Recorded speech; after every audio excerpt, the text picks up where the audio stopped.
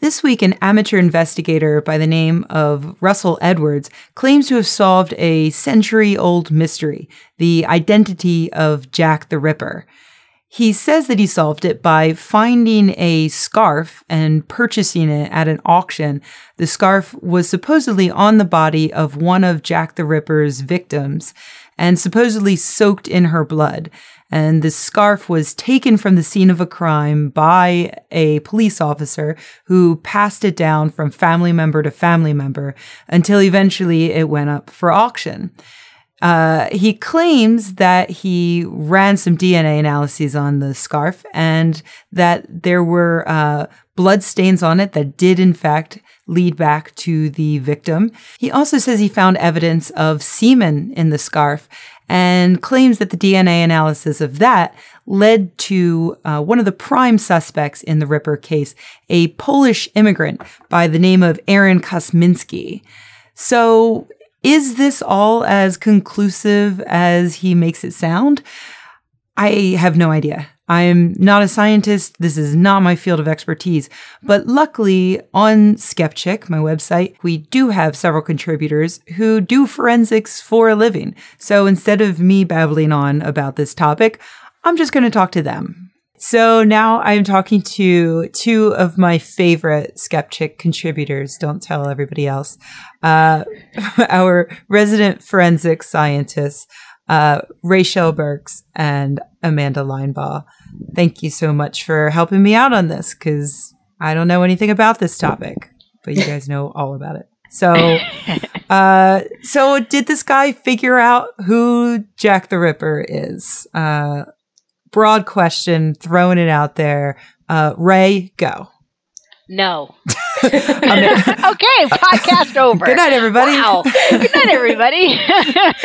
Amanda, what do you what do you I'm going to disagree and say probably not. Okay. All right. That's good. That'll be good for discussion.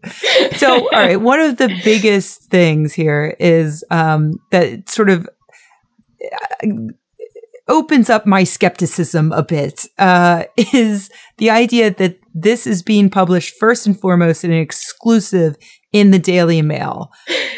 Is this yeah. how science works? and no. um, and that that would be, you know, if it comes in the Daily Mail, really you should look at it like a million times. Um, I think that you know historical DNA analysis is is becoming more and more common, especially as our our technology um, improves. And so this wouldn't be this isn't even the first time DNA analysis has been done in relation to this case. um, that was done eh, for a book surprise, surprise, that came out by Patricia Cornwell, also on Jack the Ripper, saying that she had solved it and it was a completely different person. Um, so, and, and a, a, DNA analysis of, of samples that are much older than this, like ancient DNA analysis, has been published in the scientific literature. And I think that's the key part, has been published in the scientific literature. And Amanda, is that, is that, does that jibe with your experience as well? Yes, I don't really, um, I can't grasp all of the scientific detail from what the Daily Mail reports. so there's a lot of questions that come up. But, um, but just... there, there was a very helpful video, though, right? oh, yes, the minute long video, um, making sure to show them in gloves and Tyvek suits and masks. Yeah, that was that's great. that's science, right? That's that's right? Yes, that's all you need is latex gloves, and then you're doing science. Okay. So, I one quick question: uh, Does can semen last that long? can, I mean, yes, yeah, more than a hundred years, because that is yes. terrifying. If it's like just to think of what is is in my Motel Six bed. Don't take oh, a black light to yeah, it, Rebecca. Right. Do not ever take. I'm telling you, you will thank me for this later. Live okay. in ignorance. Never take a UV light into a hotel room.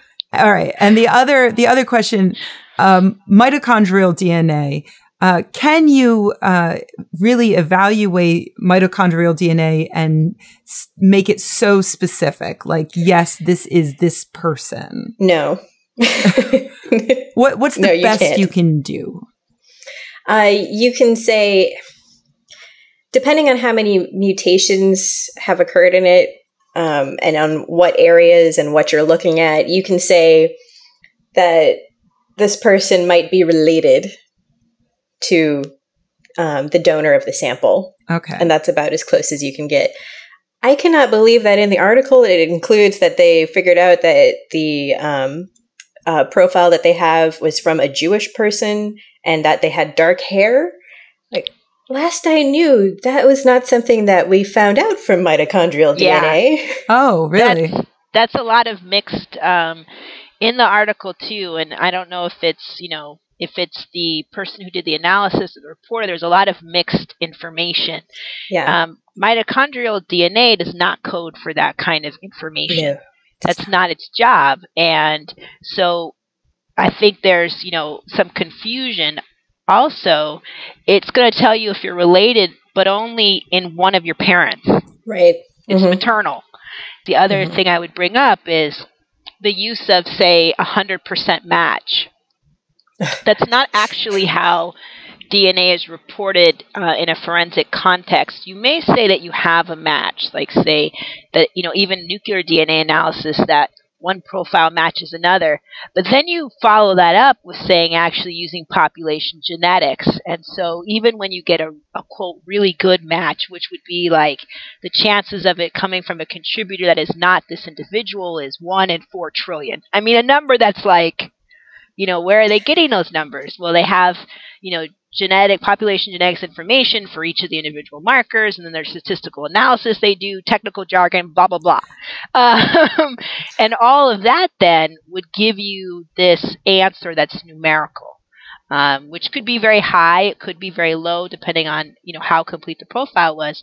But to say something is a hundred percent match, that really sets off my bullshit alarm because that's not how the information is reported, and the person doing the analysis here should know better. and and that that brings me to the point of you know the guy who is claiming to have made the discovery the one who wrote the book is an amateur.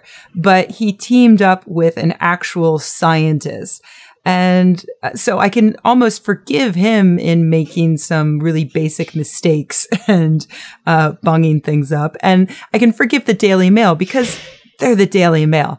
Uh, but what about this scientist? Who is he? Like, does he, he claims to have developed some new technique for, uh, extracting this DNA, but, uh, I would imagine that if he has an effective technique, that should be something that he would want to share with the rest of the community and maybe publish something about. Like, uh, Amanda, is that, isn't that how that works? Like, if you develop something in the lab, you, Exactly. you would publish it.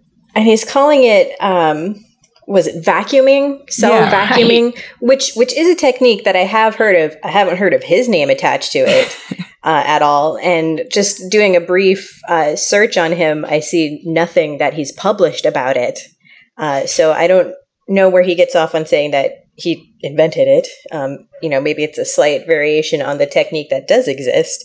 And if he has invented it and it works so well that you get 100% matches then why isn't he publishing about this? There would be the the field is is ready for information on that, and he would absolutely be able to publish uh, if Bi- I mean, big there time. was something to it. So there's a lot to be skeptical about every aspect of this story. All of the aspects. All right. Absolutely. So I'll wait for maybe let's wait. Maybe they'll end up publishing a paper. I'm not going to hold my breath. Uh, but until then, I think we can safely assume that this case has not been definitively solved. Ew. I think so. Okay. Well, thank you so much for joining me. You really, uh, you really helped rip that absolutely to shreds, and I enjoyed it immensely.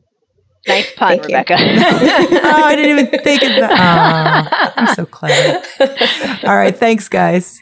Thanks.